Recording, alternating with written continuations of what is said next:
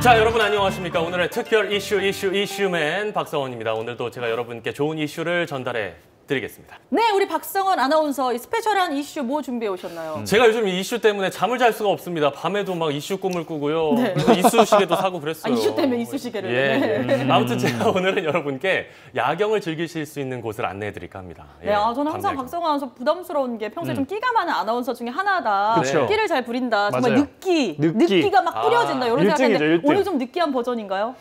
야경이 느끼한가요? 야경은 아름다운 거예요. 아, 그렇군요. 야경은 아우, 미칠 것 같아요. 낭만적인 거죠. 두 분 혹시 야경 명소 하면 딱 떠오르는 데 있으세요? 야경하면 아무래도 여수의 소 동동다리 거기가 음. 좀 제일 유명하지 않나 아. 생각이 드네요. 아닌데요. 순천? 아래장 시장에 가면요. 네. 그 야시장의 은은한 불빛들 사이로 비치는 음식들의 향연. 그게 바로 제대로 된 야경 아닐까요? 아, 다른 생각들 좀 하면서 사세요. 아, 그래요? 예, 음식 생각만 하지 마시고. 아무튼 그러니까요. 두 분이 생각하시는 그곳보다 훨씬 더 멋진 곳으로 제가 여러분을 안내하겠습니다. 오.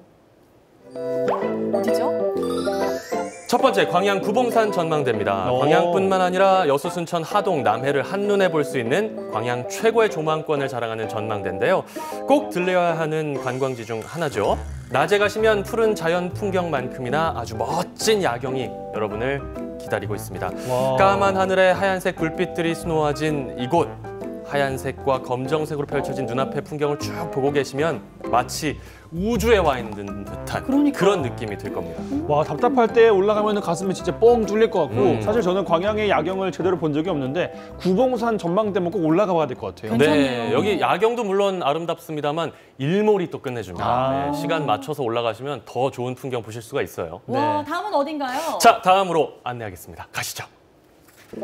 다음은 순천 죽도봉 공원입니다. 순천 도심이 한눈에 내려다 보이는 이곳. 아는 사람만 안다는 순천의 야경 명소인데요. 둘레길이 잘 정비돼 있어서 낮에 산책하기도 아주 좋습니다. 아, 그리고 밤의 모습이 아주 특별한데 영화 라라랜드가 좀 생각나는 그런 풍경 아닌가요? 아, 죽도봉 공원 차로 쉽게 가실 수 있습니다. 주차장에 차를 잠깐 세워두고 얼굴을 스치는 차가운 바람과 함께 팔각정으로 올라가시면 됩니다.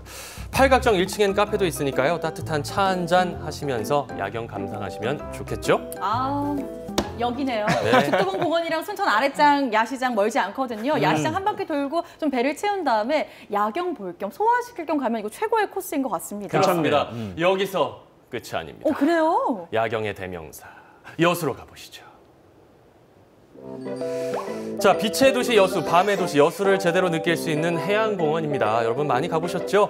해상 케이블카를 탁 타시면요. 한 번 보면 절대 잊을 수 없는 형형색색의 조명들이 낭만처럼 빛이 납니다.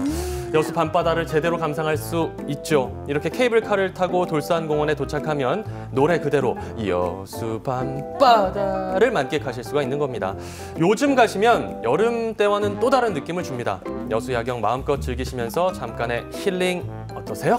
아, 전 사실 야경은 사실 겨울에 감상하는 게 제일 좋다고 생각하거든요. 어, 맞아요, 맞아요. 이 차가운 바람을 느끼면서 그 따뜻한 불빛을 보는 게 정말 음, 좋거든요. 네. 어, 저도 이 낭만 있는 이슈 오늘 함께 들으니까 뭐 낭만에 젖은 것처럼 정말 술을 먹지 않았는데 쫙 낭만이 취했네요, 그냥. 예, 낭만하면 또 저니까 제가 아. 네. 오늘 이곳 소개해드렸잖아요. 여러분 꼭 어, 낭만을 함께 즐길 수 있는 여러분의 사랑하는 사람들과 함께 가셔서 좋은 추억 만드시는 것도 좋겠죠?